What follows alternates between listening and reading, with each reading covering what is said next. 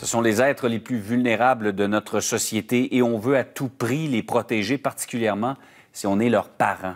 Euh, je vous amène dans le secteur de Beauharnois. C'est notre collègue Yves Poirier cette semaine qui a sorti cette histoire. Hermel Girard, 21 ans, est accusé de voies de fait, menaces et harcèlement relativement à des gestes posés sur des enfants dans cette garderie donc de cette ville de la Montérégie. Il est en attente des procédures euh, judiciaires. Et des enfants qui étaient là, deux étaient les garçons de notre invité, qu'on va appeler Julie. Bonjour, Julie. Bonjour.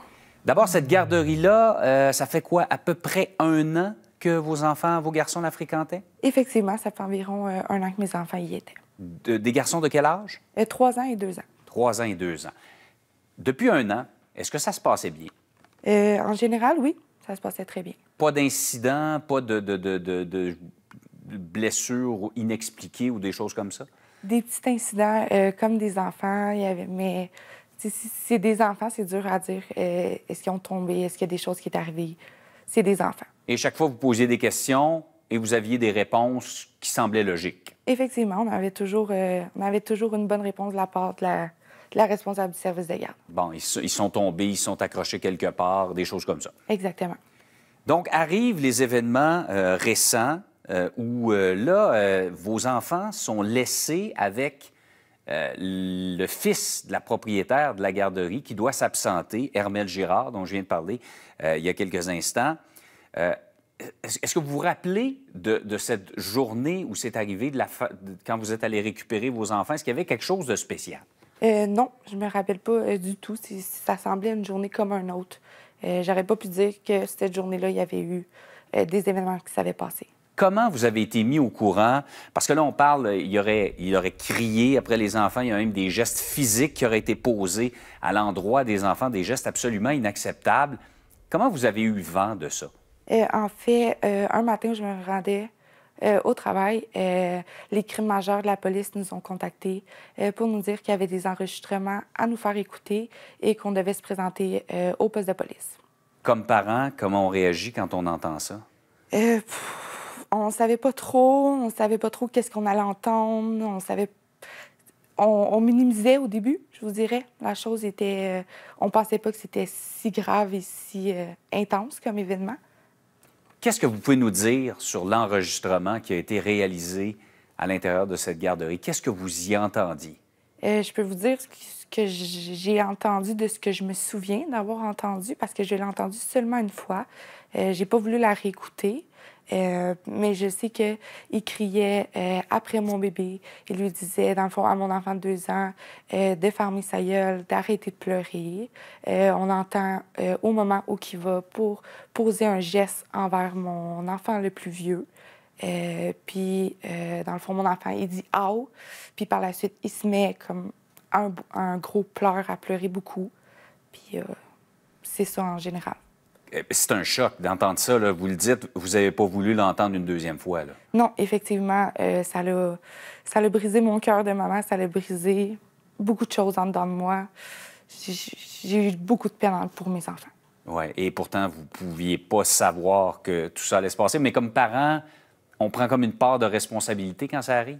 Effectivement, depuis, euh, depuis la journée où j'ai entendu les enregistrements jusqu'à aujourd'hui, et je crois jusqu'à la fin du procès, je ne serai jamais capable d'enlever la culpabilité que j'ai.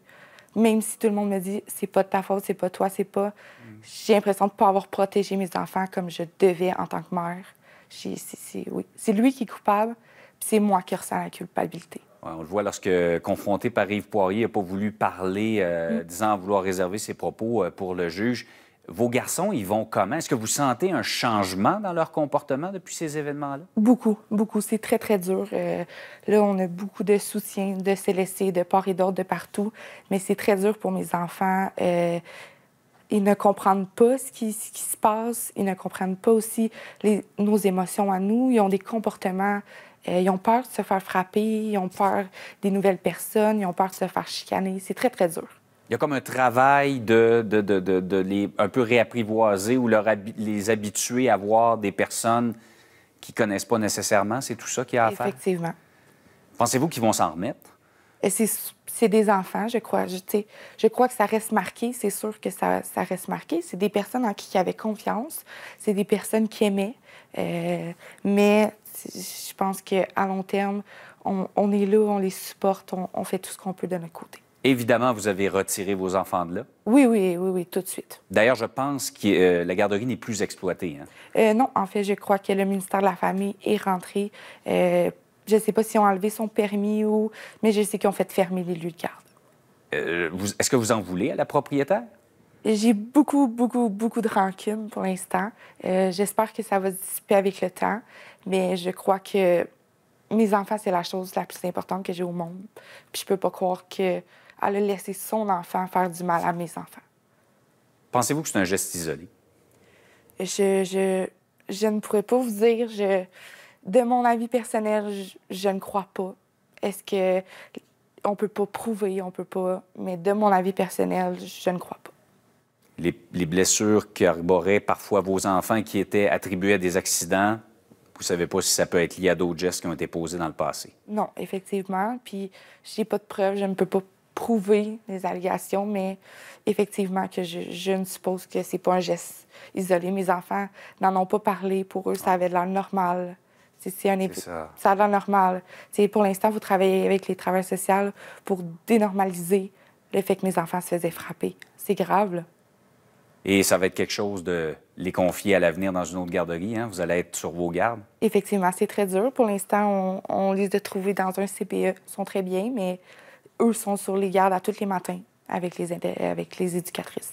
en souhaitant pour vous euh, que tout se passe bien, la transition se passe bien et en attente, évidemment, des procédures judiciaires contre Hermel Girard, 21 ans. Julie, merci beaucoup de nous en avoir parlé. Merci à vous.